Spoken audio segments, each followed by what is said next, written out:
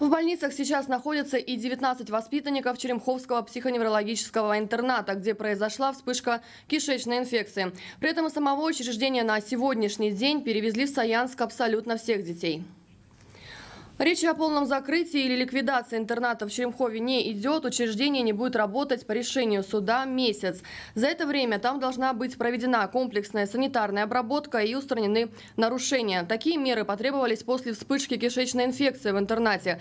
После дезинфекции и взятия необходимых проб будет принято решение, когда соцучреждение в Черемхове возобновит свою работу.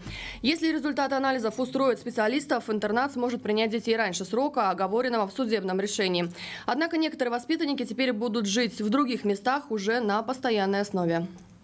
Мы приняли решение, что не будем концентрировать такое большое количество детей в этом учреждении.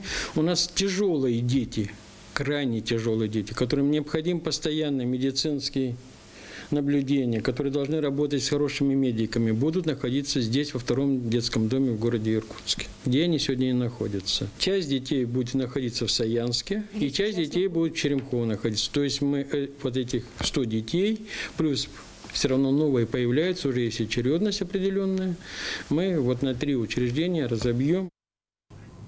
Воспитанники, оставшиеся в больницах, сейчас проходят лечение не только от кишечной инфекции, но и по основным заболеваниям. Дети, которых выписывают или остаются пока в Иркутске в детском доме, или переводятся в Саянский интернат.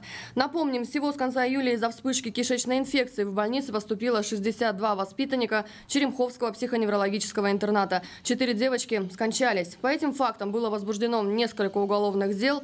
Некоторые должностные лица находятся сейчас под домашним арестом.